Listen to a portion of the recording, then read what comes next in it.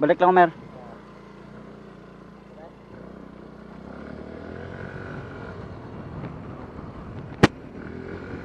So ayan, galing tayo sa shop ni Elmer mga kapatid, Kano Works. Kasi yung problema ng Mio Gear S mga kapatid, matagtag po siya. So ang solusyon ng matagtag na shock ng Mio Gear S, ipaparipak mo siya mga kapatid, papapalitan mo yung oil sa unahan. And then ah, babawasan ng hangin yung front wheel mga kapatid. So yun yung ano nun, yung remedyo doon mga kapatid. Pero hindi siya totally na mawawala. Medyo mababawasan na ng konti mga kapatid yung vibration niya. Pero hindi siya totally na mawawala mga kapatid. Ibabalik na natin tong motor ng aking kapatid sa kanya. At uh, kukunin, na, kukunin na natin si Mojo 200 mga kapatid. Alright. Buksan natin.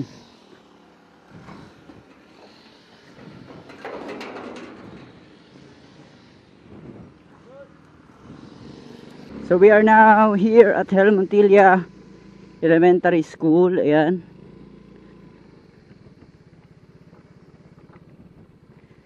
Sasauli natin sa kanya yung kanyang motor. Nabawasan na ng konti mga kapatid yung kanyang matagtag. Pero hindi siya as eh. Pa-repack mo lang. Then uh, pabawasan mo ng konti yung hangin. Ayan, itinatry niya na yung kanyang motor.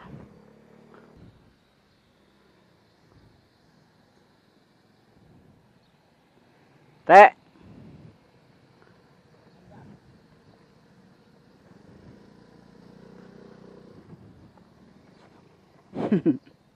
So yan, okay, na-deliver na natin. Let's go na. Job well done. Balikan na natin sa MJ2. Balik na tayo kay Mojo 200. Ayan.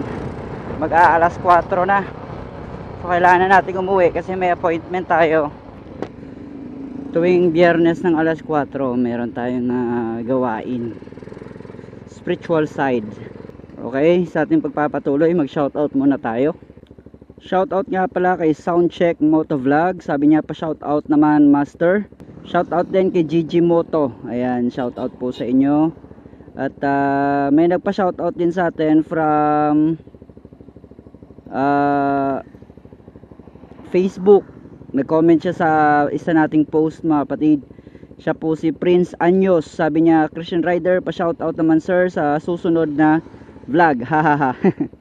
so, kasama natin siya sa Mojo 200 Maharlika uh, group page natin mga kapatid or uh, Facebook group sa Facebook mga kapatid ano ba yun? ano sino pa nagsasabi ko?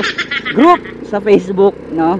Mojo 200 Maharlika dyan po tayo uh, kumukuha ng mga ideas at nagsishare din ng mga ideas sa kung ano yung ginagawa natin sa ating motor siklo mga kapatid ano? so sa lahat na may mga Mojo 200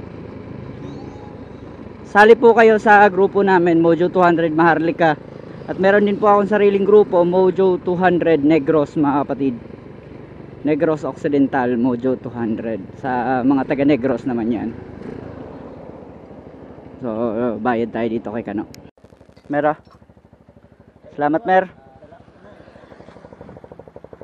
Sa sunod lang na ako na. Busy kayo ka.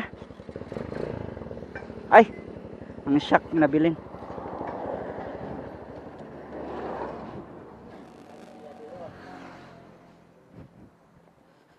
Excuse me to.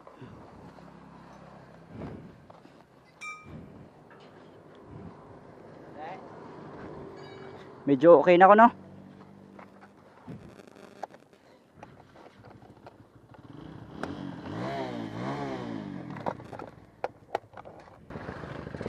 Una ka.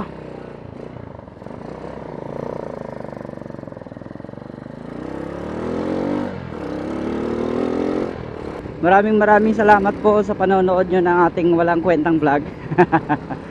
Hindi, yung ano sa akin kasi nag-learn uh, pa po ako. Hindi po ako magaling na motovlogger. nagle-learn pa po mga kapatid, nag-study pa kung ano yung mga pwedeng gawin at dapat gawin sa pagmo-moto vlog mga kapatid. Marami pa tayong hindi alam. Gusto ko nga yung mga makapag-review tayo ng maayos. Kung meron po kayong mga suggestion na pwede natin gawing ah, content, feel free to comment it down below mga kapatid. Meron kayong pa-shoutout, feel free. Shoutout ko po kayo. Ayan, nandito na tayo sa bahay mga kapatid. So, dito na lang po puputulin ang ating vlog mga kapatid. Ako po ang inyong The Christian Rider. Peace out!